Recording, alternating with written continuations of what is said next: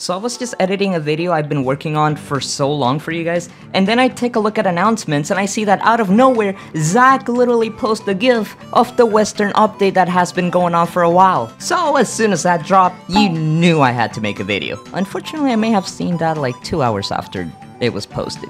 Now, big shoutouts to Dinosaurio underscore killer because this person actually uploads a little message that Zach mentioned before it was replaced by the newest one. So thanks to his video, we can see Zach saying, Alright, I got a good idea of what I plan to make next for a map, but what good does a map do if there aren't any killers that come with it, right? Who do you think is missing that needs to be added? And of course, this map that Zach is talking about is the Western map.